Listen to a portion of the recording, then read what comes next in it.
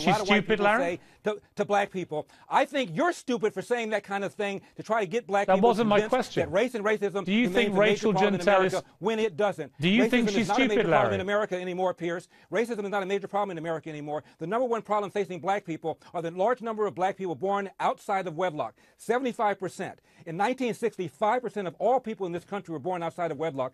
Fast forward, Piers, the number now is 43%.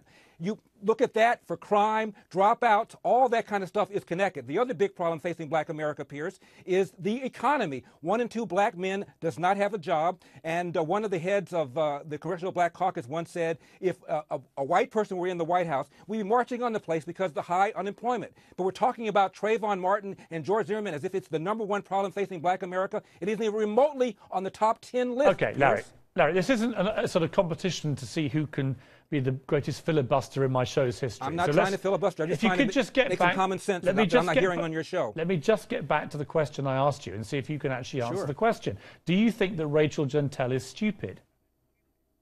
I think that I would rather have a George Zimmerman living in my neighborhood, and maybe if a George Zimmerman were living in my neighborhood, we'd have a few fewer Ariel Castros. I thought we wanted people to be proactive. I That thought wasn't we wanted the people question, to Larry. something, say something. I know I'm answering something different that ought to Could be you answered. just answer You're my George question? Zimmerman like he's some sort of criminal. He's not a criminal. He's George a guy who Zimmerman cares about his neighborhood. shot dead an He's a guy who unarmed cares about his neighborhood. He's a neighbor. He's a neighborhood watch guy. Don't you want people who are proactive? And there was crime in that neighborhood, Piers. Mm. I live in South Central. There wasn't crime second house from- there wasn't crime from Trayvon Martin The in that bars are not on there. The burglar bars are not on there because of George Zimmerman. They're on there because of the minority of thug in the community that's messing up everybody's image and reputation. This is why people profile. Instead of being angry at George Zimmerman, be angry at the minority Right. of the thug who's committing these kinds of crimes. Okay, if I could jump in again. So, just to clarify, Sure. though, Trayvon Martin wasn't committing crimes in that neighborhood, was he?